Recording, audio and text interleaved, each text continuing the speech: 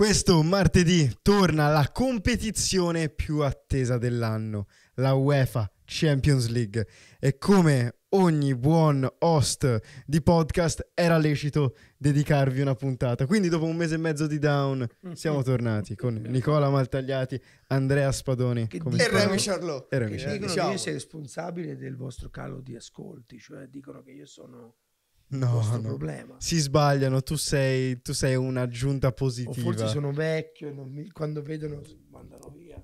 Ma guarda, secondo me, secondo me le persone che pensano questo si sbagliano di grosso. grasso, perché- Penso dal primo giorno che tu apporti un elemento differente a, a questa chiacchierata e che secondo me mancava. I fan di Cristiano Ronaldo mi rispondono sempre che sono grasso e non posso sparare. Eh, vabbè, è una follia. Quindi nemmeno Snyder può parlare di calcio, secondo Eh, loro. Io prenderei un altro esempio come Wayne Rooney. Ru- Rooney non può La- parlare di calcio. l'avete visto ultimamente? Ma- Ecco, Mamma qui mia. dobbiamo intervenire. Se posso fare una Subito. digressione prima della, della Champions League. Il fatto, allora, quella, quel- con quella foto che è apparsa di Rooney, non un foto, un video che lui batte la punizione, no? Ha fatto un bel gol. che ha fatto una punizione fantastica, è diventata oggetto di, una, di un'aggressione, eh, di, un- di un'aggressione così violenta e offensiva nei confronti di Rooney senza senso. Io ho visto il web, il mondo che segue Cristiano Ronaldo uccidere e giudicare in maniera violenta e offensiva Rooney eh, senza motivo, senza senso.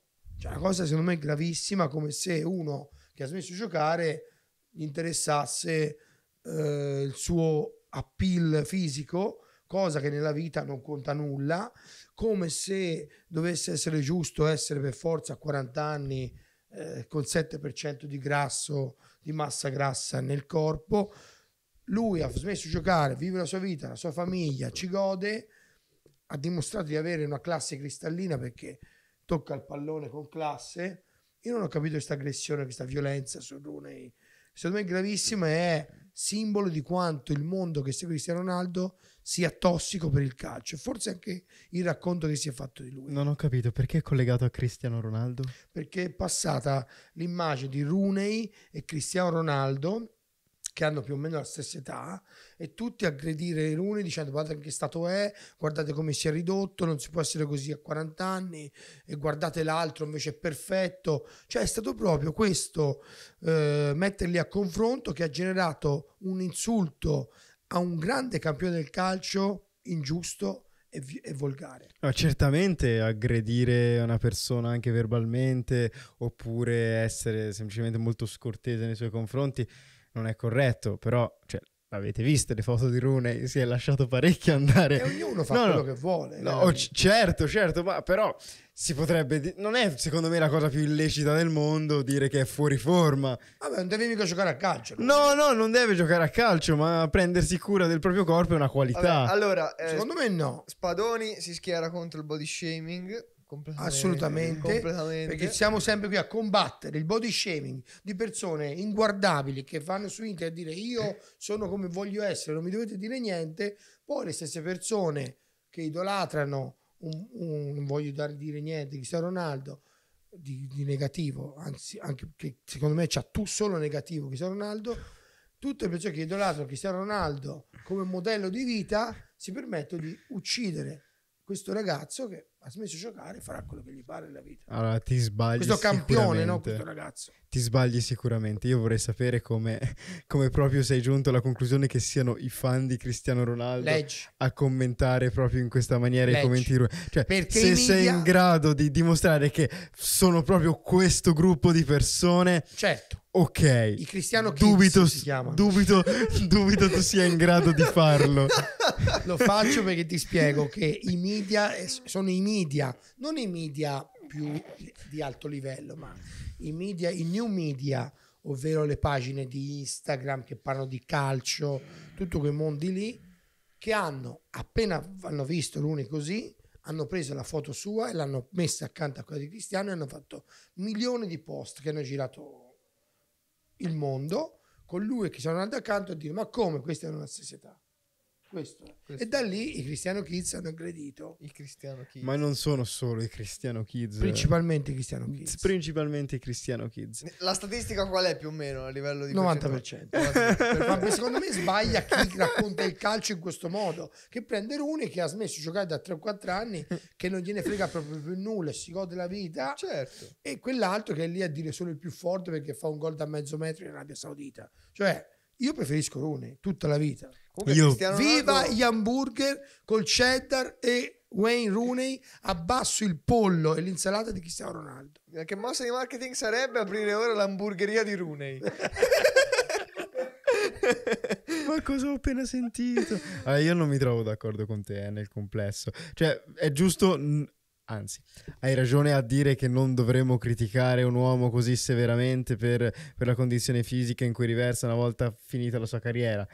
Però io questa correlazione con Cristiano Ronaldo, oltre alla foto side by side, eh, non, non la, non la concepisco più di non l'accetto più di tanto. Scusa, ma allora quando Cristiano Ronaldo avrà 60 anni, gli metto la foto con Al Kogan quando aveva 60 anni e diceva ah, che nano che è Cristiano Ronaldo, che non si vergogna, che, che- che a essere così secco. Al Kogan alla sua età lo distrugge. Cosa c'entra? Cioè, sono stronzate che portano solo tossicità nel calcio. Bravo, sono stronzate e vorrei cambiare argomento perché non ho... Però ci voleva questa precisazione. Assolutamente. Vedremo se tagliarla o meno. No, dammelo, me lo pubblico io. Va bene, va Vabbè. bene.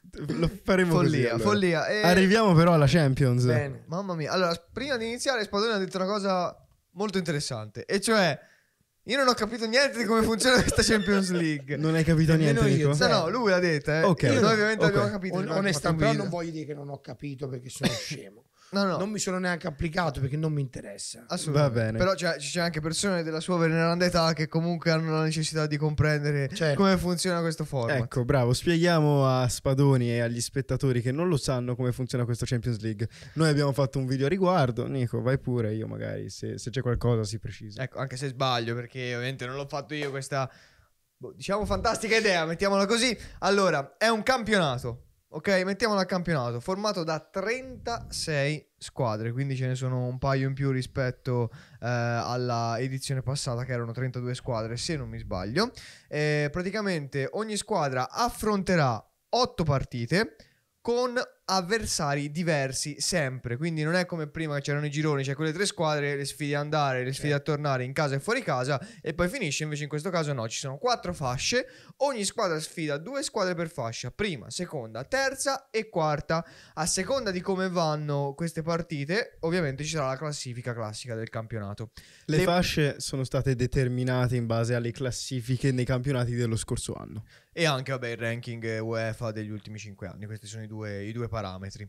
E eh, praticamente le squadre che arrivano nelle prime 8 posizioni saltano tra virgolette, tra virgolette, il vecchio turno dei playoff, andando direttamente agli ottavi di finale, cosa che nelle ultime Champions League non c'era. Il playoff c'era solamente in Europa, in Conference League. Questa volta è stato reintrodotto e come funziona? Le squadre che si trovano tra il nono e il ventiquattresimo posto si vanno a sfidare tra di loro, la nona con la ventiquattresima, la decima con la ventitreesima e così via fino, eh, fino al centro, tra virgolette. Sì, Chi vince questo scontro va a affrontare le squadre che sono passate direttamente agli ottavi di finale, che sono eh, le prime otto, formando il classico tabellone tennistico che poi andrà a comporre la classica Champions League. È stato perfetto. Quello che mi chiedo è questo: su che base si sono fatti gli, gli- gli accoppiamenti, le partite? Eh, te la... Perché non è che giocano tutte contro tutte, no? No, Cioè, assolutamente. Giochi otto partite, su che base si sono? Praticamente ci sono, c'è appunto questa divisione in quattro fasce Sì, questo lo, eh, e praticamente ci sono nove squadre per fascia, 36 Ah, ho capito, squadre. quindi da lì Tu ne affronti poi- due per ogni... Hanno sorteggiato le... Hanno sorteggiato l'unica cosa, non puoi sfidare altre squadre del tuo paese. Vabbè, Basta, questo in può questa fase. Questo è un classico. Sì. Ovviamente questo in realtà ha creato delle dinamiche un pochino complicate per il sorteggio, Eh, l'ho visto. che però visto. è un pochino... Non so, mi ha fatto un po' strano vedere un sorteggio così, perché è un sorteggio dettato da algoritmo, non c'è le palline, questa roba qui.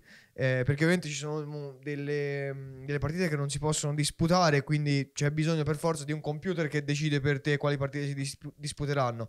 Poi sulla veridicità di quello che è successo noi non possiamo verificare, ecco, c'è un algoritmo che tu clicchi e ti dice Sì, le partite, quindi Boh, potrebbe anche essere stato manipolato, Vabbè. però non lo vedo troppo, Vabbè, anche eh. vedendo le partite che affronteranno le italiane e che analizzeremo dopo. D'altronde è il mondo, il mondo contemporaneo, bisogna fidarsi degli algoritmi. Ecco, eh, per dare una quadra a questo video, voglio spiegare agli spettatori come si svolgerà. Io ho segnato le avversarie di tutte e cinque le squadre italiane qualificate a questa Champions e noi andremo eh, squadra per squadra, dunque Bologna, Milan, Juventus, Inter e me ne manca una Atala- Atalanta e Atalanta, e guardando le diverse avversarie, eh, dicendo che cosa pensiamo possano fare e alla fine del video eh, classificheremo ogni squadra italiana in una di tre categorie. Sì. Eliminata subito, playoff, qualificata direttamente per gli ottavi. E ci prenderemo poi la libertà di dire quello che ci pare su, su tutte le squadre. D'accordo? Eh, voglio però prima di iniziare farvi una domanda. Che cosa rappresenta per voi la Champions League? Ah, per me la Champions League è sempre stata la competizione dei sogni, cioè dove le cose fighe avvengono lì di base, no? È l'obiettivo di tutti, tutti i club eh, grandi che sono nei campionati hanno spesso, se non l'obiettivo di vincere lo scudetto, il campionato, quello di arrivare a qualificarsi in Champions League, è un obiettivo sportivo, un obiettivo economico e nella storia la Champions League ha rappresentato probabilmente tra i momenti più belli della storia del calcio, sono passati, sono passati di lì. Poi, questo nuovo format che non so quanto mi piace, ho bisogno di vederlo prima, quindi non riesco a dare un giudizio diretto, anche se ho la sensazione sia per l'ennesima volta più soldi che calcio, anche in questo caso. Forse. Ma questo è un, è un discorso a parte. In ogni caso mi aspetto di divertirmi anche quest'anno, come noi ci siamo divertiti a vedere Real Madrid-Manchester City 3-3 dal vivo allo stadio. Ecco, cose del genere possono succedere solo in Champions League. Spado? Ma io che ti devo dire, sono cresciuto con la Coppa dei Campioni quando c'erano solo Quella quelle- vera! quelle che arrivava prima in campionato giocava la Coppa dei Campioni. Quindi ero bambino, vedevo quella roba lì, era molto affascinante. Però Bel format. è chiaro che quella era la vera- una vera Coppa, cioè lì chi arrivavi prima andavi lì e giocavi con le prime.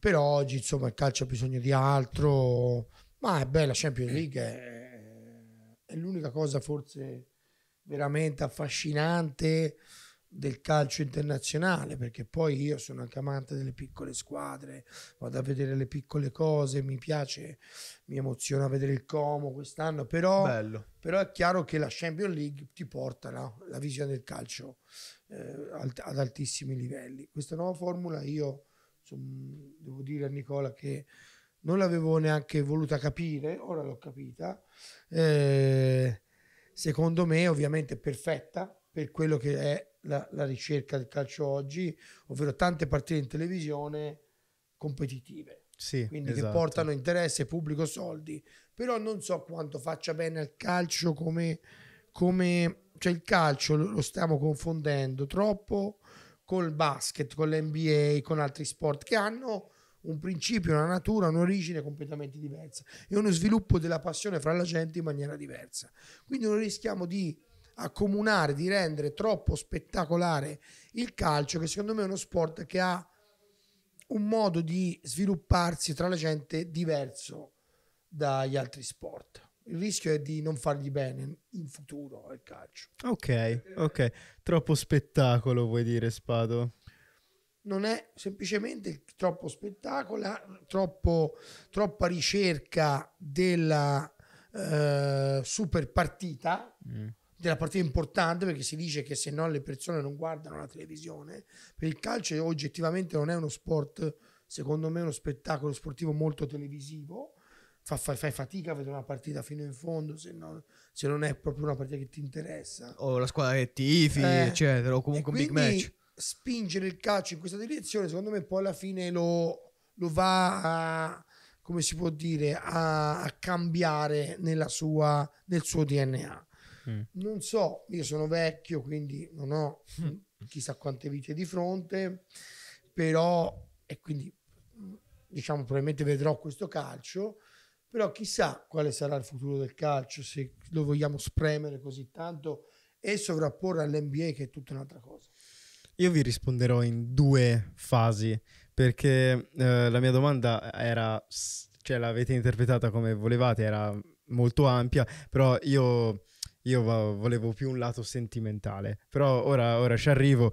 Eh, per quanto riguarda il nuovo format, a me non dispiace perché la fase a gironi della Champions League iniziava ad annoiarmi già da qualche anno, quello che arrivavi, le partite più o meno, i risultati erano quelli, non c'erano incredibili sorprese, eh, forse non sarà il caso nemmeno col nuovo format a, a campionato, quindi qualcosa per cambiare mi piace, Eh, mentre per me la Champions League rappresenta le notti a casa sul divano con la famiglia, il camino acceso, il cano, cane accanto a noi che possiamo accarezzare, guardiamo le partite, è tipo l'evento infrasettimanale, no? Perché facciamo Baldoria venerdì, sabato, la domenica si passa, boh, io non granché in famiglia perché la mia famiglia non è molto italiana, però, però quindi martedì e mercoledì Champions League ci mettiamo tutti sul divano a guardare la Champions. È un'occasione. quindi, quindi è qualcosa che, che mi piace particolarmente. Ma Sono sai, contento sono- sia tornata. Sono cresciuto sul, al ristorante, quindi io non ho mai visto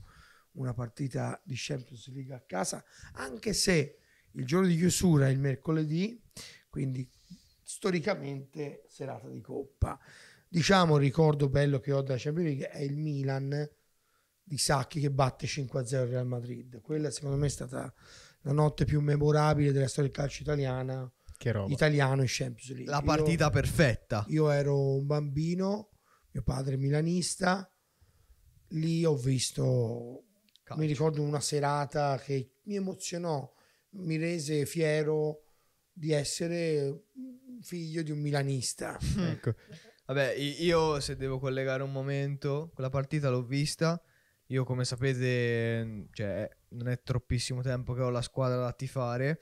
Però, nonostante non tifassi in quel momento, Roma-Barcellona 3-0 è uno dei momenti più incredibili. Una partita che è entrata rapidamente nella storia. Incredibile. Ogni tanto mi Eh, ricapita gli highlights. Oh, mi vengono i brividi a, vedere gli highlights di quella partita. Eh, La, Ro- la Roma è una squadra sottovalutata che andava a battere il miglior Barcellona Eh, sì. di quei anni. Neymar, Suarez, Messi davanti. Che poi i- credo ci fosse Neymar. Sì? Eh, sia, mi la cosa incredibile è che sia il commentatore italiano sia il commentatore inglese sono riusciti a raccontare quel momento in maniera penso perfetta penso sia veramente uno dei momenti a livello di telecronaca internazionale migliori degli ultimi dieci anni veramente Eh, ma è una grande Roma perché noi si sottovaluta. è vero è vero Perché la Roma non ha grande impatto nel mondo del calcio internazionale, ma era una grande Roma, una grande formazione. a rivederla adesso Eh. vengono veramente i brividi ragazzi c'era una- una- un- veramente un top team e, e si- cioè, a pensarci adesso si capisce perché facesse così bene in quel con periodo no? quell'allenatore, quel grande Eusebio.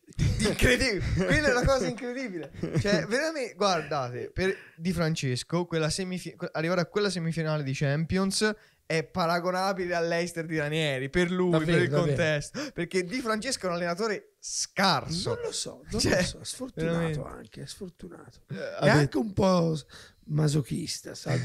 perché allena sempre le squadre e Peppe gli dice Peggiori. quest'anno voglio retrocedere. No. Avete condiviso i vostri momenti migliori? Eh, se devo selezionare una partita, io non toglierò mai dalla mia testa Barcellona Paris Saint-Germain 6 a Mm, L'ho 1 visto, me ne ricordo al. Camp Nou. Io però Ma in senso negativo Io- eh, in senso negativo, io tifavo Paris quella Anch'io, sera anch'io. e sono stati derubati proprio a, man- a mano Mamma armata. Questo è un ecco, questo è un discorso che vogliamo, dopo lo possiamo affrontare di come calcio europeo da chi viene, chi sono i burattinai, perché questo è un po' Mamma limita forse il fascino di questa Vero. manifestazione. vero Ok, ultima domanda prima di buttarci nel format. Però questo è veramente. Roma, io ero bambino, vidi anche finale Roma-Liverpool persa rigori con Grobel in porta nel Liverpool, piccolino con la maglia della Roma perché mio zio è della Roma e vedi perdere, piccolino. classico per poi vedere perdere in finale con l'Inter per poi vedere in... vabbè lasciamo perdere Ok, prima di arrivare a- al dunque, e direi che sarebbe il momento di arrivarci, avete visto la pubblicità di Sky per, eh, per Oh pubblicizzare la Champions con, eh, con le navi dei Come pirati? fai a non vederla? La mettono, la mettono ovunque anche prima degli highlights della Serie A. L'ho Incredibile. vista, l'ho È vero, ma sono l'unico a pensare che non siano i calciatori quelli. Cioè, quello, quello è una controfigura di Lautaro, è una controfigura di È il Vlaovic. bro di non TikTok. so- è lui, io ne sono certo, hanno- non sono i calciatori. No, Oh, no, tipo Vlaovic è Vlaovic. no, io non penso che sia lui. Ho Ci hanno qualche dubbio. Sì. Sono- io non ne sono convinto. Non Non ne- Grieto, gli hanno fatto Manca- Se davvero è quel Lautaro lì ci mancava davvero non gioca più CR7 o ci mancava CR Spera Però davvero. dicono che c'è a campi di quello. Sì, sì, sì, sì. Assolutamente. Follia. eh. Eh, quindi io vi invito la prossima volta che vi appare a guardarla attentamente. guardarli Perché- negli occhi Perché io ho qualche. Tipo, Lautaro Su mi sembra troppo paffuto, ad esempio. E Vlaovic la faccia. Ma mm, esiste il sosia di Vlaovic? Non lo conosco. Eh, boh, forse Lautaro lo conosciamo. conosco. forse ora sì Forse ora. Comunque, arriviamo alla- all'idea della puntata di oggi. Eh, parliamo di Champions League, parliamo delle cinque italiane. Ehm, sono pronto ad elencarvele e vorrei partire da... vorrei- il percorso... Il sistema che vorrei seguire è dal quinto posto al primo in- nella Serie A dello scorso anno. Vabbè. Quindi chi è arrivato quinto in Serie A l'anno scorso? Il Bologna. Io adesso sono pronto a leggervi le squadre che sfideranno. Sono otto. Giocheranno con lo Shakhtar in casa, con Liverpool in trasferta. Andranno poi a giocare alla- a- ad Aston Villa in trasferta. Monaco in casa, Lille in casa, Benfica in trasferta, Dortmund in casa e Sporting fuori. Ehm, questo Bologna ci ha fatto sognare l'anno scorso, ci hanno regalato calcio, ma se le prime tre giornate di Serie A ci hanno detto qualcosa, è che in Champions faranno una figuraccia. io non sono d'accordo io non sono d'accordo perché Italiano per me è un allenatore simpatico che mi sta simpatico però al contempo io, io lo trovo molto limitato e limitante è so- eh. sotto tanti punti di vista però sì in Coppa è bravo però il format è campionato Questo è quello il problema È vero. la cosa che mi spaventa è Sono che il format è campionato partite testa a testa, però. cioè, in questa Champions ogni singolo gol conta. Perché il, il primo parametro, oltre agli sconti diretti, Eh, che è sì. difficile ci siano, visto che non affronti tutte le squadre che sono presenti, è la differenza reti. Quindi, non lo so, non lo so, veramente. Mm. Paradossalmente, però, farà schifo in campionato del Bologna, probabilmente, perché secondo me le prime 3-4 giornate non contano nulla. eh, però può fare bene in coppa perché se il Bologna riesce a arrivare ai playoff, perlomeno, secondo me può essere una delle sorprese di questa Champions arrivare tipo ai quarti. Io credo che ti sbagli di grosso. Io leggendo questa lista, forse sono tre le squadre con cui possono giocarsela. Shakhtar in casa, Monaco in casa, Lille in casa. Tutte le altre le perdono. Cioè, non vanno a battere il Liverpool, l'Aston Villa, il Benfica, Liverpool- il Dortmund, lo Sporting. Lo Io Sporting, penso. secondo Io me, no- io penso che- battere. Eh, ma in Portogallo Duro, duro. io penso che Gyökeres gliene pianti due e Ma ragazzi, Gyökeres eh, nelle prime 8 partite ha fatto 11 gol e 5 assist. Vabbè, Pazzesco. Mamma mia. Pazzesco che non sia andato ad un'altra Eh, squadra costava tanto, quest'estate. lo volevano tanti, però costava. costa. Perché i giocatori che giocano in Portogallo per qualche strano motivo o li paghi 100 milioni di euro o non li puoi prendere. Eh. Ma questo Io- sembra forte davvero. Eh sì, io lo dichiarai anche un anno e mezzo fa in una live con un amico che secondo me era l'attaccante emergente Più in forte. Europa, è lui. Eh, il Bologna, il problema però ragazzi, andiamo a valutare a fondo la situazione. Non è italiano, non italiano. Per me italiano è un ottimo allenatore, uno dei migliori sulla piazza in Italia, un grande allenatore. A Firenze lo rimpiangeranno. Vabbè.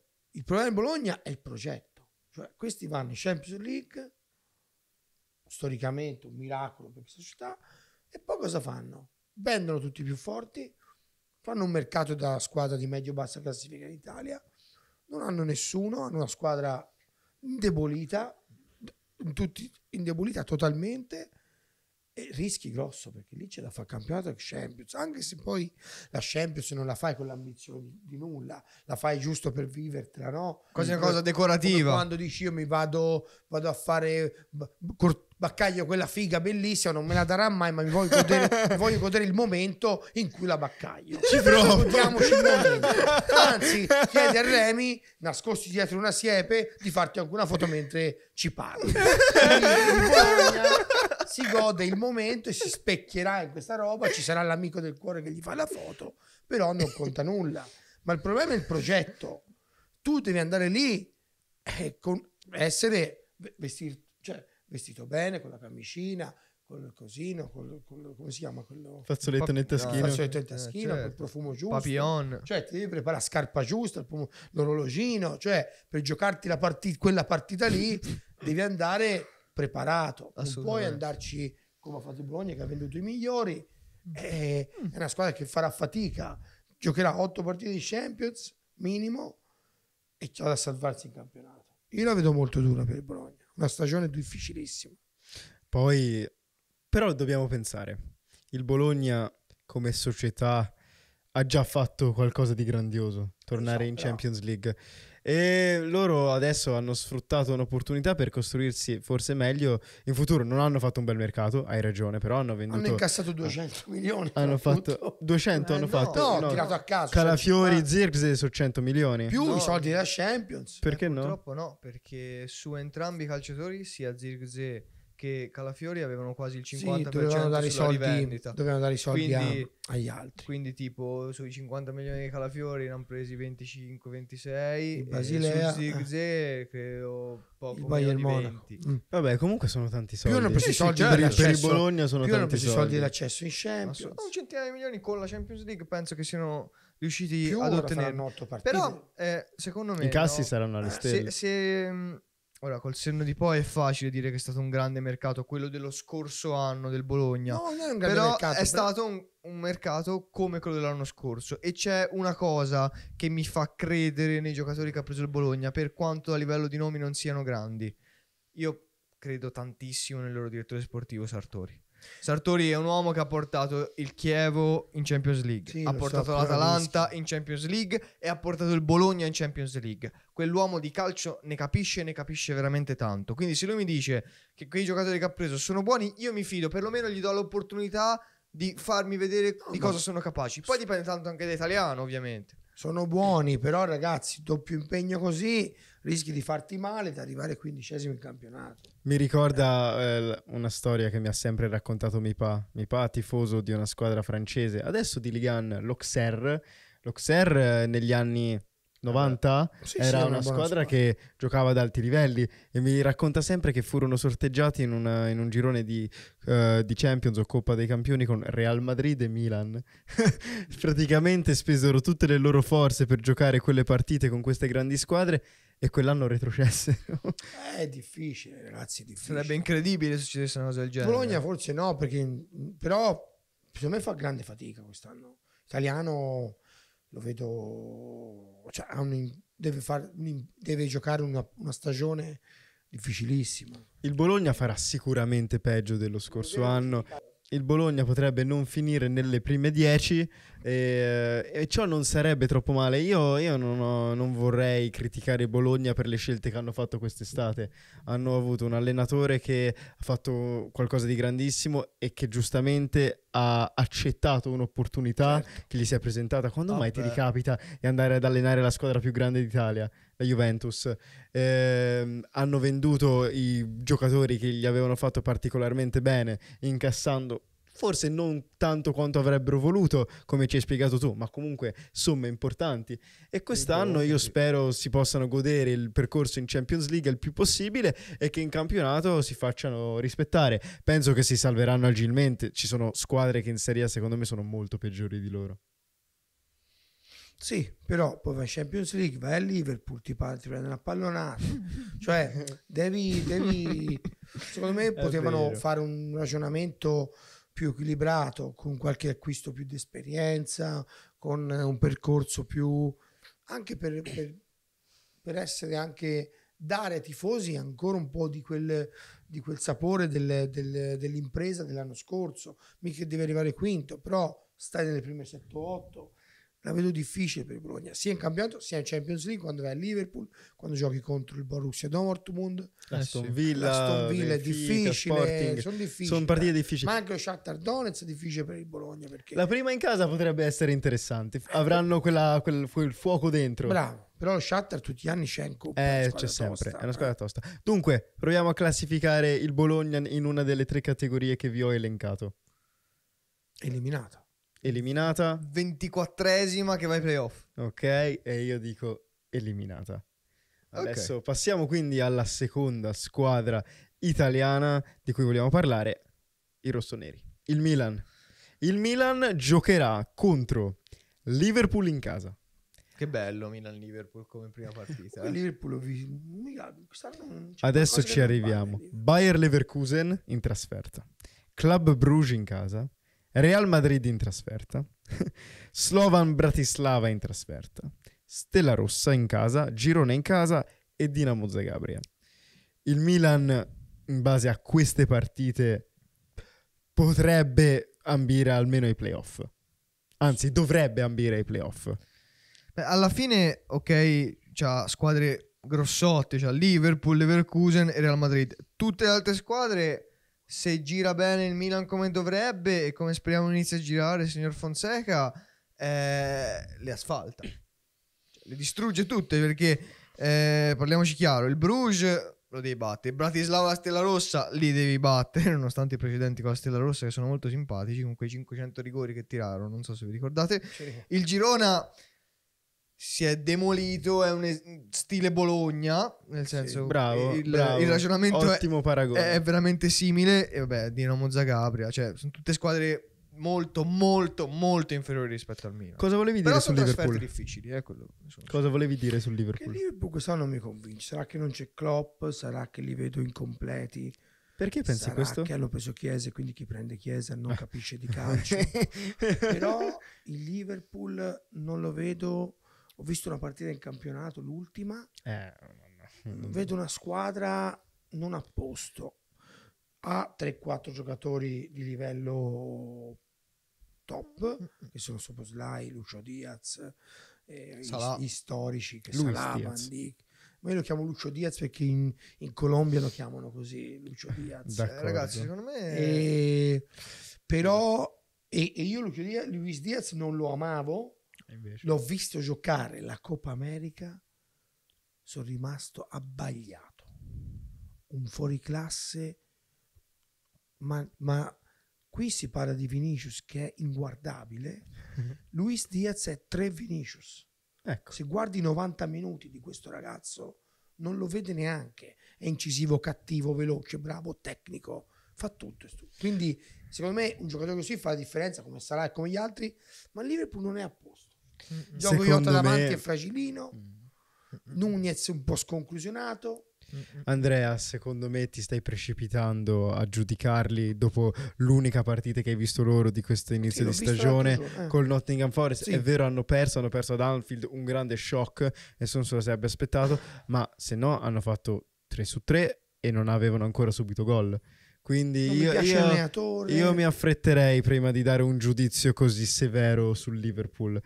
Però quello che dici su Chiesa Luis la tribuna, Diaz... spero. Se fa la tribuna, forse hanno speranza. Ma sì, di- Chiesa è il panchinaro, non, la non ci tribuna, piove. tribuna. Luis Diaz è tre volte Chiesa. Non Tre direi volte che Chiesa. è tre volte. Cioè, Otto volte Chiesa. Ok. tre volte È tre Vinicius. Vinicius. No, non È è tre- tre volte Vinicius, però, però è, è un bellissimo giocatore Luis Diaz. Il Liverpool, eh, eh, secondo me, farà bene. Cioè, nel senso, non è che farà una Io stagione. perché mi piace, però No, non farà una stagione mediocre, però effettivamente il Liverpool si trova un pochino a fine ciclo. La maggioranza dei campioni che hai elencato, tipo vabbè, i vari Van Dyke, Allison, eh, Salah. Salah, sono tutti, e dico tutti in scadenza di contratto. Quindi nel 2025 teoricamente dovrebbero separarsi dal Liverpool e abbiamo due vie in questo caso. O si sono stancati e non riusciranno a dare quanto dovrebbe il loro nome, quanto dovrebbe sorreggere il loro nome a livello di aspettative, oppure faranno la stagione della vita. Queste sono un pochino le due, le due opzioni. Sono in un mo- momento di cambio generazionale, bisogna anche vedere come farà Slot, che lo conosco meglio di tutti voi probabilmente perché la Roma ha affrontato solo il Feyenoord negli ultimi anni e l'allenatore del Feyenoord era appunto Slot. È un allenatore interessante che ha delle belle idee. Vediamo, cioè secondo me è una bella incognita, però o bene bene o male male, non ci sarà una via di mezzo per il Liverpool. Io credo che arrivino nelle prime otto. Sì. Io Tranquillo. pensavo che mh, l'anno scorso vincesse la Premier il Liverpool. Quest'anno, sì, comunque le prime otto ci deve, ci deve provare perlomeno il Liverpool Eh, oh. sicuramente. Il Milan la dura, eh, con Liverpool la prima subito. Il Milan in, conf- in confusione contro il Liverpool diventa una partita difficile. Bravo, torniamo a parlare di Milan. Milan che prime giornate di campionato ha preoccupato non poco i rossoneri che già alcuni parlavano, parlavano di rivolere Pioli sulla panca. Eh, però una cosa che io non capisco del Milan e vi ho, vi ho dedicato una storia a riguardo. Noi conoscevamo le debolezze del Milan ancora prima che il campionato iniziasse, eppure è iniziato e non sono riusciti a tapparle. Cioè, avevamo, temevamo che il Milan potesse essere troppo sbilanciato in avanti ed è troppo sbilanciato in avanti. Lasciamo stare che ora hanno battuto il Venezia 4-0. Wow. Il Venezia è una Beh, squadretta. si è fatto tre gol da solo. Ok, esatto. Cartellino rosso. Joronen eh, ci ha messo il suo. Poi Venezia, come, come hai detto te, no? Di Francesco è un allenatore un po', un po' come si dice? Però è un visionario. Sì, sì, vabbè. Secondo me è un visionario perché lui allena sempre la squadra più debole e gioca come Zeman. Ecco, cioè ecco. Il numero uno. È un masochista perché prova a giocare bene con una squadra che non è in grado forse di giocare Quindi bene. rischia di prendere Almeno- tanti gol. Esatto, quindi non lasciamoci abbagliare da un 4-0 contro il Venezia, non vuol dire niente. Per me il Milan rimane una squadra in grande confusione. Il Milan è in grande confusione, io Eh, sì. eh, ve l'avevo detto prima dell'inizio del campionato, ma non per l'allenatore perché tutti attaccano Fonseca. Fonseca è lì, potrebbe fare anche un buon lavoro. Secondo me non è stata costruita una squadra in maniera equilibrata, corretta.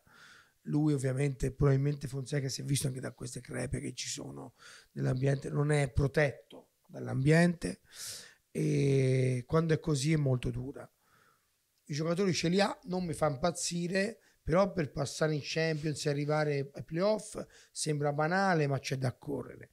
Un Milan così mo- farà molta fatica.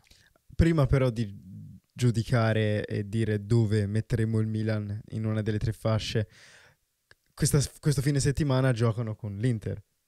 Vogliamo fare un pronostico rapido del derby di questo fine settimana? Il derby è un'idea controcorrente, io, Ovvero? che vince il Milan. No. Aspettate ragazzi, dobbiamo fare per bene questa cosa. Vince il Per Milan. bene. Pronostico. Derby della Madonnina. Inter Milan. Ecco. Vince il Milan, vince il Milan con un gol clamoroso di un giocatore Che odi? nuovo, Ah, nuovo, nuovo. di un giocatore diverso da quelli soliti del Milan. Farà gol No, eh. chi? Non Tammy. Farà gol il grande Tammy Abram e cambierà le sorti del derby. Sono sicuro, sicuro, me lo sento. Di testa, Abram, di testa. Viste le debolezze del Milan, io credo che l'Inter sarà in grado di usarle al massimo. Inter squadra finita. Temo, temo un'altra goleada stile lo scorso anno. Temo un'altra Milan goleada. 3 a 2 con gol di Abram eh, a chiusura. Il mio pronostico è 2 a 0 Inter. L'Inter non ha ancora la possibilità di vincere questo derby. Il Milan, e gli faccio i miei più sentiti complimenti, vincerà 4-0 con eh, triplette di Tammy Abram e gol di Rafaleao per il mio fantacalcio. Ok. Andrà così sicuramente. Fantastico. Mentre in Champions League il Milan dove li mettiamo? Milan in confusione, non- squadra un po' incompleta, la dura. Io lo metto nei playoff, però c'è da correre, c'è da correre. Il Milan, complimenti, arriverà non tra le prime 8, ma tra le prime 4 di questa fase a gironi della Champions League. Sto notando un pattern nei tuoi giudizi sul Milan, Nicola. Dal pronostico di inizio anno a, a quello che hai appena detto sul derby è questo. No, io sono d'accordo con Andrea. Metto il Milan nei playoff, forse un... proprio nel mezzo, dodicesimo posto circa. Eh, Beh, e, ci beh. sarà, e ci sarà da giocare. Nel mezzo è 18, eh. C'è Sì, da sì, sì, correre vai, perché- mezzo alto allora, dodicesimo posto Ok, circa ok, per il Milan. sta. Ma c'è da correre perché non pensate che si va lì alla Stella Rossa e si vince. No, hai Cioè, ragione. la Champions non è questo. Sono partite complicate. Poi spesso quelle partite lì ce le hanno in trasferta. E appunto vi citavo prima la partita con la Stella Rossa Eh. in Europa League. Poi pare. ora, se ho capito Stella Rossa è in casa, ragazzi. bene la formula, se ho capito bene, la Bene, formula, bravo. Eh, c'è da giocarsene tutte, da 0 a 0, si riparte da 0, c'è da fare più punti possibili. certo. È più dura. gol Per possibili, Milan il meno Dura, possibile. è dura, per il Milan è dura. Cioè, C'è quando da- c'hai da vincere, cioè, quando c'hai la squadretta, te sei obbligato a vincere eh, 4-5-0. pensi che ce la fai e vince con la Stella Rossa. Eh, è quella Eh. la domanda che ti devi porre. Però sei obbligato a farlo perché se poi tu, Eh. cosa probabile, ti ritrovi a pari punti con qualcuno, quel Eh. gol che non hai fatto con la squadretta, Sì, sì. sei fuori dalla Champions League. Non, è, non non è che scendi in Europa League, ah, questa cosa non l'abbiamo detta. Non c'è la discesa. Sì. Non c'è. Tu non è che dalla Champions poi vai Sei in Europa fuori. League. No, sei fuori. Ecco, di questo sono contento. Anch'io, Finalmente hanno anch'io, tolto basta, poi. questa regolaccia dove le squadre eliminate dalla Champions andavano a giocarsi l'Europa League. Seviglia quante volte ha fatto sto gioino? E l'ha vinta. e l'ha vinta proprio così. Aveva proprio rotto le scatole. Eh, quindi, due playoff, una prime quattro. Passiamo alla prossima italiana ed è la Dea, l'Atalanta di Gasperini. Bella. Con chi bella. gioca? Giusto, giusto, devo elencarvi con chi gioca. L'Atalanta giocherà con, appena mi si apre, a parte che ve l'ho mandato se non dovessi. Ok, Atalanta, Arsenal in casa, Shakhtar in trasferta, eh, Celtic in casa, Stoccarda in trasferta, Young Boys in trasferta, Real Madrid in casa, Sturm Graz Mm. in casa e Barcellona in trasferta. Quindi Praticamente- sfida Arsenal, Real Madrid e Barcellona. eh. Uno dei calendari più difficili, forse, eh. È dovuto alle loro fasce. Assolutamente. Credo. Co- eh, Per me il Bologna fino a questo momento ha avuto eh, gli avversari più complicati. Praticamente ogni partita per il Bologna sarà una partita da dentro fuori. Certo. E qui Milan, fascia più alta, sarà, sarà più facile. L'Atalanta non, è- non gli è andata molto bene. eh. No, eppure credo che l'Atalanta sia stata in prima fascia, essendo che ha vinto la- l'Europa League. È prima fascia. so. Sì, sì, sono molto sicuro di questa No, cosa. oddio. Vuol dire che hanno pescato... Chi hanno pescato? Real Madrid e Arsenal dalla prima fascia. Eh, E. Real Madrid dalla- e. Barcellona dalla seconda. Eh, ci sta, ci sta. Eh, tuttavia, io a prescindere dall'avversario, io l'Atalanta non la sottovaluto più. Questa è una squadra forte, una squadra che se la può giocare con chiunque in qualsiasi momento.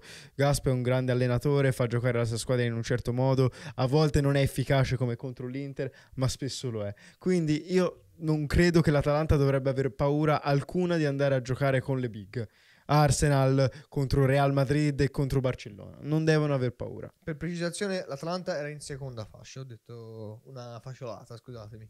Comunque, l'Atalanta sì, non va mai sottovalutata. Non va mai sottovalutata. Però io ho una sensazione: tutte le volte che ci si aspetta qualcosa dalla Dea, deludono sempre. Cioè, loro sono una squadra che sorprende. E fa bene solo quando deve sorprendere, non quando deve confermare e eh, dimostrare qualcosa. C'è anche da dire che costruendo, costruendo, costruendo in questo momento hanno dei giocatori veramente interessanti. Reteghi gli stanno arrivando 500 palloni e per quanto sia un ciabattaro sta No, segnando. no, è forte. Non mi ha sorpreso le teghe. Eh, anche a me mi sta È veramente un bel rapace d'area di rigore. Ma ragazzi, io non so se avete visto la partita, non ho giocato le prime tre. Ademola Lukman con la Fiorentina. Io l'ho vista. Cioè, sembra che abbia giocato il giorno dopo la finale di Europa League, veramente. Ha fatto una partita clamorosa. Ha sprecato molto nel secondo tempo, Eh, però, però è veramente forte. Ho giocato una partita pazzesca. Sì, vabbè, Fiorentina lasciamo perdere. Sì, la Fiorentina Però- è quello che è. Però effettivamente l'Atalanta, io guarda, ho vista proprio la partita con la Fiorentina tutta. Bella. E... Primo tempo pazzesco. Secondo me Ovvio. deve ancora un po' più Gasperini sistemare questa nuova squadra. Sì. Ci sono delle cose da correggere, però fra un mese io penso che l'Atalanta sia il top e penso si giocherà il campionato e farà bene in Champions League. Non bene non vuol dire vincerlo, ok. però farà, farà il suo. La vedo nei playoff tranquillamente. E... È una bella squadra. Reteghi, ragazzi, io non pensavo gioc- con questo gioco qui che gli arrivano i cross di testa la butta sempre dentro. Sì, sì. forte, bravo. la squadra è tosta. Per me se la gioca va nei playoff tranquillamente. Poi hanno tante opzioni perché hanno speso Eh. sul mercato questi ultimi due Eh anni, sono andati a comprare i rinforzi, oltre alla punta che va bene adesso è Reteghi ma deve tornare Scamacca prima o poi, c'hai Lukman, De Ketelare, Samarzi, Zagnolo, Brescianini, cioè quanta scelta che ha a Ederson in disposizione. mezzo, un bel Ederson è un bel giocatore. giocatore, quanta scelta che ha a disposizione Vasovic l'allenatore. L'unico reparto in cui peccano e infatti nelle prime tre di campionato, anche quattro, hanno sofferto questa In mancanza in difesa. Eh, hanno avuto diversi infortuni, Ian, Eh, Kolasinac e ne hanno immediatamente risentito. Scalvini. Dove Scalvini è rotto da Eh. tempo, facendo arretrare eh, De Ron. Ma quando, quando tornano questi giocatori, l'Atalanta ha anche una rosa completa. Secondo me è forte. Non da andare a vincere, chiaramente, ma da fare bella figura. Tanto in Champions come, come in campionato. C'è qualcuno che mi ha detto che con gli impegni di Champions saran- sarà troppo per loro. No. Però l'anno scorso sono arrivati in finale di Europa League. Cioè, alla fine le partite che hanno giocato sono quelle, sono la stessa quantità, se non di più, perché l'Europa League ne giochi di più tipicamente. Quindi se hanno dimostrato di poter sopportarlo l'anno scorso, perché non quest'anno? Anzi, da ultimo, secondo me, Mamma mia. impegna di più perché volevano provare a vincerla. Quindi nella testa c'era quella roba là. No, io penso che facciano bene. In playoff ci può andare tranquillamente. Playoff, playoff, Playoff. playoff. Ora, con l'Arsenal subito, in questo momento qui della stagione, rischi anche di perderla male, eh? Però In secondo me casa? sarà veramente una delle partite più belle che vedremo. Eh. Poi sarà nel nuo- nello stadio completamente rinnovato. Tra l'altro, quanto è bello il nuovo stadio dell'Atalanta. Hanno fatto veramente Signori bella roba. sponsor, quando ci invitate a vedere Atalanta-Arsenal? Ecco. Sai che ci ho giocato allo stadio di Bergamo? Hai giocato al Gavis? Prima che si chiamasse così. Prima magari. si chiamasse, che si chiamava? Eh, non mi guardare, non ne ho idea. C'aveva aveva un altro nome. eh, Non mi viene. vabbè, io ho giocato a Bergamo. E ho fatto anche un assist in quel Ma non giocavi portiere? No, perché era già il periodo che ero vicepresidente della squadra della nazionale italiana Grande Fratello e il- la prima mossa di mercato portiere, Ah, che era tre anni, giocavo un porto, non avevo più voglia. Quindi io giocavo in panchina, mi, mi- mi misi da solo in panchina, entrai l'ultima mezz'ora e feci un assist con un lancio di 30 metri come al solito. Che qualità. come al solito. C'è anche un video che ve lo farò vedere. Fantastico. Bene, passiamo alla penultima squadra italiana di cui vogliamo parlare, ovvero la Juventus. La Juve sfida PSV in casa, Lipsia fuori, Stoccarda in casa, Lille fuori, Aston Villa fuori, Manchester City in casa, Bruges fuori e Benfica in casa. Ma secondo me hanno un calendario piutto- Facilissimo. piuttosto abbordabile. Sì. Sì, la Juve è un progetto anche in costruzione. Secondo me loro hanno la testa al campionato, vogliono vincere il campionato. La Juve quest'anno vuole vincere il campionato, non, non ha altre idee. Quindi può, può arrivare nelle prime otto, Nel- senza volare troppo alto. Quando abbiamo fatto il nostro video previsione della Serie A, hai messo la Juve prima. Cioè, e dopo prima. queste quattro giornate ne sei sempre convinto? La Juve arriva prima, La Juve sette arriva prima. punti di scarto sulla seconda che non sarà l'Inter. D'accordo, d'accordo. In Champions League invece come, come vediamo questo, questo nuovo gruppo? Perché è veramente una squadra rivoluzionata, squadra diversa, l'abbiamo visto contro l'Empoli, hanno pareggiato 0-0, ma questo è un risultato... cioè, Ragazzi, così- l'Empoli non ha ancora perso una È un partita. Eh? risultato da scartare. Gli Juventini che si preoccupano per, la- per il pareggio a Empoli, No. secondo me cioè, non ci stanno con la testa. Qui non c'è niente di cui aver Si paura. sono risvegliate le Ci- vedove di Allegri. Ecco, dicono, "Eh, bravo, è quella bravo. di Allegri che non segna 0-0 Vlaovic. In realtà, se si guarda la partita, si vede che la squadra ancora è un cantiere. È la Ecco. prima partita che giocavano tutti quelli nuovi, l'ho visti tutti un po' fermi. Spaesati. Eh, io credo che la Juve farà una grande stagione. Una grande Ecco. stagione vuol dire vincere il campionato e poi il resto, quello che viene, viene. Sì, a me sta piacendo tanto quello che sta provando a fare Motta. Ricordiamoci che, ok, questi due 0-0 consecutivi, ma la Juventus è l'unica squadra in Europa in questo momento che non ha ancora subito gol. Pazzesco sto dato. eh. Rischiando pochissimo, eh? Sì, Non- sì, nessuno, nessuno Cioè, va vicino che- a fargli gol. Non è che non ha subito gol per fortuna o tiri che sono andati fuori Come o Napoli traverse. ieri. No, no, assolutamente no. Non, non- non c'è proprio expected goal bene. 0-0-0. Gioca bene. Il primo test della Juventus domenica è questa domenica col Napoli. Sì. Dura. Che E bella sarà- partita. Sarà... Non so se sarà una bella partita. intensa, Bella maschia. senso, bella, Maschia. Maschia. bella, cioè alla pari. Ved- Vedremo un po' i- chi la porta a casa. Non vedo l'ora. E mi prenderò un minuto per parlare del Napoli che in questo... No, scusate. Mm? Parla del Napoli e poi facciamo il pronostico. Sì, sì, facciamo il pronostico. Un minuto per parlare del Napoli che ha approfittato del, del pareggio della Juventus, del pareggio dell'Inter, vincendone tre di fila, subendo un solo gol e questi sono in cima alla classifica. La partita col Cagliari è finita 4-0, ma il risultato è Io bugiardo. vista, Il risultato è bugiardo. Mamma mia. Perché hanno subito una roba come 19 tiri e Merez si è superato. Ma Lo sai io, bene, eh? io voglio can- sì, lo so bene perché ho 7 e mezzo più 1, 8 e mezzo al Fanta. Lasciamo stare, ho goduto come un maiale. Ma eh, questo a parte, io voglio, voglio dire qualcosa di positivo su Antonio Conte perché io mi sono rotto degli allenatori che vogliono tenere il possesso del pallone giusto per, giusto per il gusto di farlo, giusto per ehm, insomma boostare quelle statistiche e avere il 65% possesso palla. Le squadre di Conte sono da sempre pragmatiche. Si fa il minimo indispensabile a livello di gioco complesso, ma bisogna puntare dritto. E infatti i gol arrivano. Guarda, il Napoli l'ho visto male eh, col Cagliari, vi dico la verità. Era un po' dietro, ragazzi, malissimo. Però, però, però poi quando si è rimesso a posto, eh, ho visto bene Lukaku, Ha fa un bel lavoro, spalla alla porta, fa un grande lavoro, anche se è un po' lento, però hai visto come tiene palla. E poi c'ha il giocatore più forte del mondo in campo che cambia le dinamiche di ogni partita. Bisogna iniziare ad ammetterlo. Ora, se è meglio del mondo non lo so, però bisogna iniziare ad ammettere che Kvaratskhelia è l'uomo che cambia completamente la squadra quando è in palla spaccando le partite. È un giocatore Eh, speciale. A me piace moltissimo l'accoppiata con davvero, Lukaku davanti, davvero, con meglio Neres. che- Meglio, meglio che con Osimen, forse è presto perché- per dirlo, però No, sì. ma lascia perdere.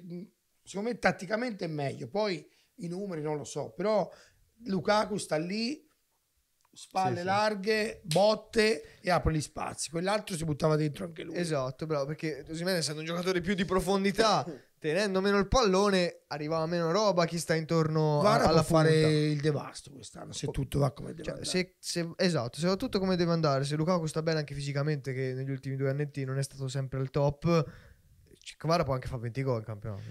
20 tanti, ma 15 sì. 15, 15 Sarebbe, sì, sarebbe tanta 15 roba. eh. sì, ma poi 10 più che altro assist. ti fa 10 assist, ti apre, che poi anche se non fai gli assist che vanno a tabellino, apri il, ca- apri il Certo, campo. certo. Perché tante volte conta anche più quello che l'assist. più la palla che viene Eh, mandata per e, fare l'assist. e il Napoli l'ho visto male però, eh. Mm, Non ta- cioè, si deve un po'... Cioè, si deve mettere a posto il Napoli. Eh. Adesso, adesso torniamo a Eh. parlare della Juve. Soffermiamoci un secondino sulla partita con la Juventus. Io credo che Conte farà alla Juve quello che l'Empoli ha fatto alla Juve, ovvero li conterrà, li farà avere la palla, però occhio, il Napoli in contropiede penso possa essere micidiale. Po- secondo me pronostico 1-1. Poi Neres eh, quando entra in palla gli dà, gli dà una spinta in più. Ragazzi. Neres ha fatto 3 assist in 40 minuti. fenomenale, fenomenale. Tecnicamente è, è delizioso, è proprio delizioso. Eh, poi è, tipo, è proprio il tipo di giocatore Eh? che a Lukaku piace avere intorno, Eh, a mio avviso. Eh. Sì, perché Kvara è più da guerra. Ne hai visto com'è lui con Conte quest'anno. Torna, pic- si picchia, perde palla, va dietro, la recupera. Quell'altro sta lì e ti fa la giocata e ti risolve la partita. È bravo Neres. Poi centrando tutti i difensori sulla minaccia Lukaku, ha Guarda anche che- spazio.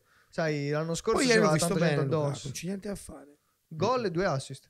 No, ma poi quando il Napoli era in grande difficoltà, buttavano sempre la palla a diritto a Lukaku, dalla difesa la palla la buttavano sempre a Lukaku. Oh, rimaneva lì, eh. Non c'è vero. fenomenale, fenomenale. Valla a spostare Lukaku quando, quando è piazzato davanti alla palla. Torniamo a parlare di Juventus. Come fanno in Champions League? Come li classifichiamo? Per me la Juve arriva tra le prime otto. Sì, la Juve arriva tra le- prime otto, senza volare alto, come ho detto, perché secondo me, sotto sotto, poi le società lo sapete che poi si pongono gli obiettivi, l'obiettivo è il campionato. Quindi la Champions ok, però secondo me non vogliono spremersi troppo per, per, diciamo poi pagando le conseguenze in campionato. Però tra le prime otto è, è dovere arrivarci, eh. Sono d'accordo, prime otto per la Juve, ma lo vedo più un settimo, ottavo Sì, posto. sì, sì, quindi proprio, proprio lì al limite. Poi abbiamo, abbiamo visto il calendario favorevole. e è una bella squadra con tanti talenti, quindi io penso ce la possano fare. Sì. L'ultima squadra di cui dobbiamo parlare è campione d'Italia, l'Inter, che sfiderà il Manchester City in trasferta, lo Stella Rossa in casa, lo Young Boys in trasferta, l'Arsenal in casa, quindi le prime due della Premier sfidano, l'Ipsia in casa, Leverkusen in trasferta, Praga in trasferta e Monaco in casa. Allora, io vedendo queste- questi nomi credo che abbiano un calendario più difficile del- della Juve. Sì, sì, Sì, assolutamente. mi sembra di sì. Perché sono toste, è Manchester City, eh, Arsenal, Lipsia, Leverkusen non sono partite facili. No. Oserei dire difficilissime. L'Ipsia non lo so, però... Come lì sempre forte, eh? È una buona squadra, Eh, però credo che la Juve riesca. Ecco. No, l'Inter, L'Inter. si parla di Ah, Inter. scusatemi, l'Inter, perdonatemi. Ma io Mi odieranno tutti i tifosi. Ho, No, scatenato no. una faida con questa cosa. Comunque, boh, non so. Eh, non mi piace tanto. Che queste partite le ho viste quasi tutte quelle dell'Inter. E ho visto delle rimembranze dell'anno scorso. Però ho visto. Avete presente quando giocate al biliardino e gli manca l'olio? ecco, questa è la sensazione che ho avuto sull'Inter. Ecco, macchinosi. Ma l'hai pensato dopo il pareggio di No, no, ieri? tutte le partite. Tutte le partite con l'Atalanta erano forti. Vabbè, ok, quella è un po' un'eccezione. Però nelle altre un po' scricchiolanti, ok? Ok. Batte l'Atalanta 4-0 in casa ormai è un must per l'Inter. Io credo che l'Inter sia una squadra veramente forte, Sì. con un'idea di gioco definita ormai da anni, i giocatori sanno quali sono i loro compiti e che eh, l'unica cosa che manchi in questo momento all'Inter per dominare come lo scorso anno è Lautaro, che non va in gol da parecchio tempo, ma tanto torna perché i grandi attaccanti tornano a segnare e io credo che appena lo farà l'Inter tornerà a dominare in campionato e in Champions eh, sarà difficile da battere per tutti. Io, come ho già detto in altre occasioni, considero l'Inter un po' una squadra sopravvalutata, nel senso che è una squadra forte, strutturata, come volete, però è già due anni che dicono eh, l'Inter vince tutto, ora vince Champions, vedrete, Triplete. spacca tutto. In realtà, secondo me, in un contesto europeo, l'Inter è una squadra normale, che fa grande fatica con tutte. È chiaro che nel girone no, classico di prima, se tu e un'altra squadra te la giochi, arrivi primo o secondo, con questa formula non vorrei che succedesse l'irreparabile. Perché io l'Inter la vedo, come vi ho già detto, una squadra di medio-bassa classifica in Europa. Non la vedo una grande squadra. Che espressione avevi Vedo usato? più pronta il Sassuolo d'Europa. vedo più pronta la Juventus in prospettiva di un Inter, che invece è una squadra un po' Ma non stanca. parliamo in prospettiva, parliamo del presente. Del presente è una squadra che se la gioca, però non vorrei che succedesse l'irreparabile. Io credo... Perché- Scusami. No, no, vabbè, perché fa un calcio vecchio, Vecchio. squadra vecchia, calcio vecchio, No. Vecchia, sì. squadra vecchia come emotività no? di età anagrafica, cioè realtà, quando dai, fai 3-4 anni sempre uguali che poi Io l'ho presa la lettera, in realtà. Credo che sia una delle squadre più vecchie della Serie A. hai mangiato le troppe lasagne e inizi ad essere pieno e quindi non vorrei che succedesse irreparabile. Diciamo, se devo fare un pronostico dico di no, nelle prime otto ci arriva, ma ci metto un grande punto interrogativo. Io v- leggo questi nomi e credo perderanno col Manchester City. Quella è l'unica certezza che Già ho. si inizia a prendere delle belle sberle col Mm. Manchester City e si torna sulla terra. Perché la presunzione dell'Inter mi fa molta paura, no? nel senso, mi fa pensare che possono fallire quest'anno. Com- comunque sì, l'Inter è la squadra più vecchia d'Italia, 29 anni di media. Vecchia con un calcio vecchio. No, non sono d'accordo con questa affermazione, non, non esprimono un calcio vecchio. Eh, L'Inter è una squadra dinamica che è in grado di adattarsi all'avversario che hanno di fronte. Cioè, quando devono fare la partita, avere il pallone, creare occasioni, lo fanno. Quando hanno una big davanti, mi ricordo la finale di Champions che hanno perso col Manchester City, non si fanno problemi ad aspettare, sanno contenere gli avversari e partire in contropiede. Secondo me quella finale lì è stato veramente una coincidenza fortunata quando perso, però che non succederà mai più nella storia dell'Inter. L'anno scorso l'Inter ha perso due partite in campionato col Sassuolo, rega- regalate, regalate tutte e due. E sono, in stati, cambio di qualche giovane. e sono stati eliminati ai calci di rigore dall'Atletico Madrid e hanno perso in Coppa Italia col Bologna. Ma cioè, è veramente poco. Secondo me l'Inter poi con i nuovi innesti non può che continuare su una striscia positiva. Fare bene. Io li Io metto, fido. io li metto nelle prime otto. Anch'io, ma con un bel punto interrogativo. Secondo me l'Inter può essere tra le italiane la delusione, tra virgolette, che arriverà comunque agli ottavi, ma dovrà passare dai playoff. Secondo me arriva tipo decima, una roba del genere. Mm, curioso. Io vedo più l'Inter in semifinale. No. no, è troppo.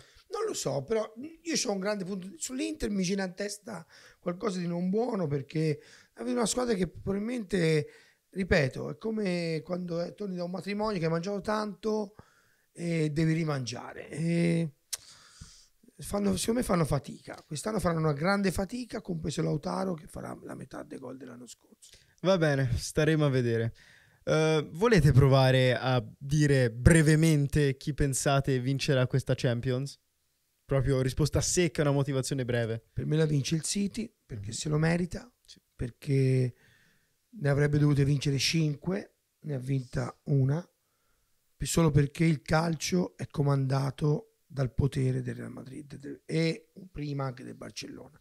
Cioè non è possibile che negli ultimi 15 anni abbiano vinto tutte le Champions League o quasi Real Madrid e Barcellona, qualche volta il Bayern Monaco e una Liverpool, però questo Real Madrid Chelsea. che comanda, sì, vabbè, però sono tutte una a una. Il Bayern, ok, è una grande città, però il Real Madrid in particolare, lasciamo stare il Barcellona, è una squadra che veramente ha troppo, troppa influenza nel calcio. Non è semplicemente la più forte perché spende di più, perché c'è giocatori più forti, ma è anche una squadra che ha troppi favori in generale in Champions League. Quindi il City si merita di vincere questa Champions perché gliel'hanno fottute almeno due o tre.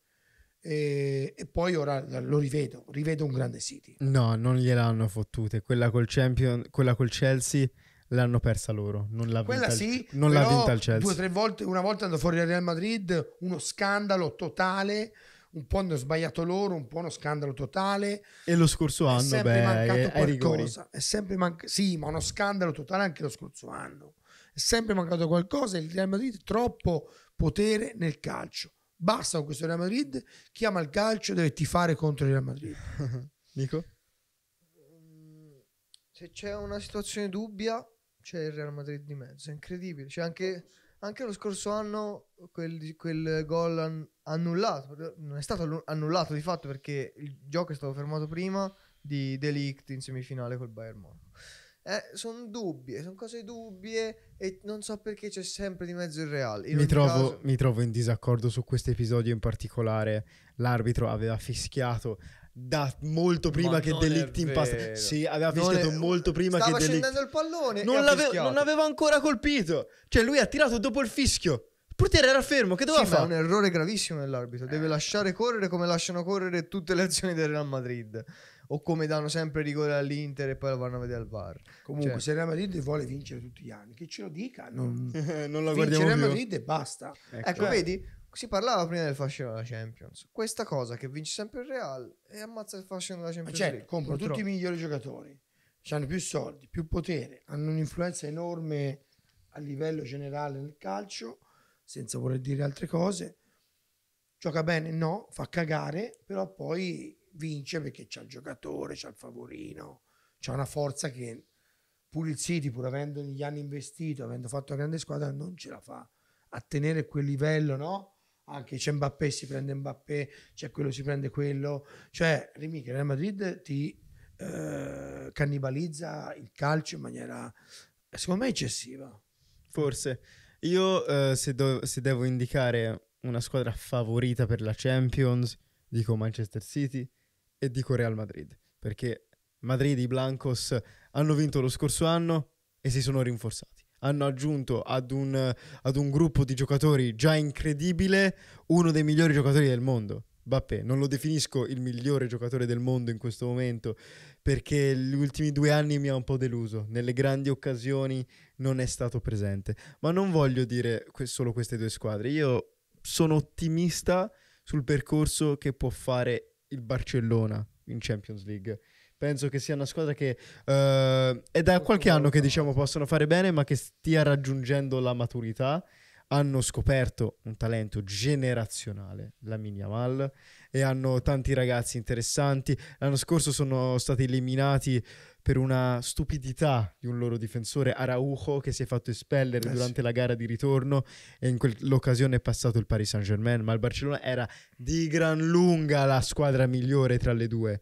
Quindi io spero che il Barça possa fare un gran bel percorso Mi quest'anno. farebbe piacere perché c'ha dei giocatori, anche Olmo ha preso, insomma, una bella squadra. Che ha fatto gol in tutte le partite che ha giocato. Poi hanno vari giocatori della, cioè della cantera, va bene, Yamal, ma Kubarsi, eh, Balde, eh, stanno Sì, facendo sì, giocare due centrocampisti eh, spagnoli che non conoscevo prima. Sì, uno Eh. si chiama. Renal, no, perché si è fatto male dopo Non posso aiutarti, non so i nomi. Poi, Fortissimo. poi deve tornare Gavi, quindi, quindi è una gran bella squadra. Bernal, quel ragazzo lì, ragazzi, Bernal, Bernal è il centrocampista del futuro, insieme a Kobe Mainò.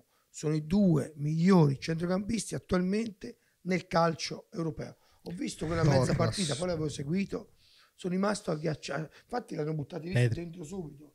Sono rimasto a bocca aperta. Ecco. Clamoroso, Bernal del Barcellona. E non devo dimenticare Pedri. L'unico, l'unico punto Vabbè, loro si interrogativo. sa che sono forti, no? Yamal. Certo. Ma questo qui, io quando l'ho visto in campo, ho detto, chi è? Mi sono andato a vedere delle robe, sono rimasto a bocca aperta. Sono dei ragazzi eccezionali. L'unico punto interrogativo che ho sul Barça è eh, Lewandowski, che inizia a avere una certa età e Eh, non sì. segna più con la stessa continuità. Tante occasioni Sono non è in Ferran Torres, grado no? di concretizzare. Eh, ma Ferran Torres non, Non è, non è quell'attaccante da, da risolverti la partita. E poi un po' la difesa. Vediamo un po', però penso che possono fare molto bene. Vedo Barcellona e Inter in semifinale. C'è la telecamera spenta. Sì, sì, tranquillo, quella è spenta da mettiamo- tempo. Dai, Nico, il tuo e poi chiudiamo. Allora, beh, eh, i favoriti sono ovviamente Real e City, eh, però ne abbiamo già parlato ampiamente. Ma Harry Kane non vince mai. Harry ce Kane farà vince- quest'anno. Harry Kane vince la Bundes quest'anno Forse, col Bayern. speriamo. se, se no è una maledizione. Almeno quello. La sorpresa di questa Champions League è probabilmente la squadra più sottovalutata in questo momento tra le big. Per me farà bene, non credo che vincerà, però farà molto bene il Paris Saint Germain. Sì, sì, sono convinto anch'io. Il Paris ha completamente cambiato volto Vorrei da quando hanno mandato Mbappé. Sarebbe, sarebbe poetico, no? Che Godrei, vincessero senza tutte quelle stelle. Anche se hanno speso tanto per costruire questa rosa. Ma è la strada giusta. eh, Passa, me. passa dai piedi di Barcolà, passa di- dai piedi di, di chi altro? Di Usman Dembélé. Però è un giocatore a mio avviso troppo discontinuo. Vediamo. Sì, vediamo. però dal City l'ho visto bene, ho rivisto un grande Grealish, ho rivisto... Ma si parlava di PSG, non di City. Sì, no, io pensavo alle favorite, no? PSG ok, però ha dei limiti. Io sarei felice vincesse, però ha dei limiti. Il P- Pensavo alle favorite della mia testa, il City forse è quella squadra che può competere con la Madrid, più di tutte. Nicola, vuoi dare una motivazione per la tua scelta? Del e poi PSG? chiudiamo? Sì. Ok. No, il Paris Saint Germain è una squadra che piano piano sta cambiando volto e mh, quando ragioni così, quando fai investimenti futuri, eccetera, penso che vieni premiato. Ok, ragionando così, questo modo di fare calcio quasi moneyball, che è paradossale pa- parlarne di, col P- PSG che negli ultimi anni ci ha dimostrato di quando c'è da tirare fuori i soldi si tirano fuori spendendoli spesso male e per giocatori già quasi finiti, escluso vabbè Mbappé, eh, vabbè, è l'eccezione che conferma la regola, tra virgolette.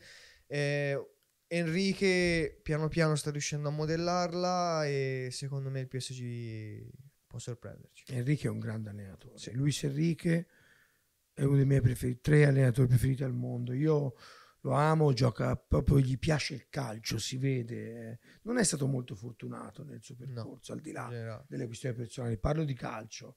E poteva fare molto di più perché è veramente un bravo allenatore. Io non capisco tipo come il Milan Non, non, abbia possa pensato a aver pensato, eh, invece di andare a Fonseca a fare questi esperimenti. No, vabbè, Luis, Luis Enrique, era già grande- legato al Pari- a Parì Lo quest'estate. capisco, lo capisco. Però magari l'estate prima, quando c'era già il dubbio su Pioli, andare, forse l'hanno fatto, no? andare a sondare, a sentire Eh, sarebbe- se, se Enrique fosse disponibile. Sarebbe stato un grande colpo. Gli dai tre anni Enrique ti fa un grande progetto, secondo me. Va bene signori, a meno che ci sia qualcosa che vogliate aggiungere, io vi ringrazio di questa bella chiacchierata, come sempre è un piacere. Eh, voi da casa fateci sapere nei commenti che cosa pensate del video, che cosa pensate della nuova Champions League, del nuovo format, se siete arrivati fino a questo punto anche di chi pensate possa andare fino in fondo. Io non ho nient'altro da aggiungere, vi saluto con tanto amore, grazie. Ciao a tutti e Grazie. speriamo che il gomito di Spadoni si rimetta a posto.